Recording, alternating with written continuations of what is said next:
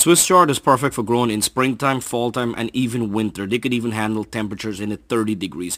When it comes up to harvest, harvest between 6 to 9 inches, cut the outer leaves. The smaller one will continue growing for a long time. Even if Swiss chard bolt cut out the flowers, the plant will still continue growing.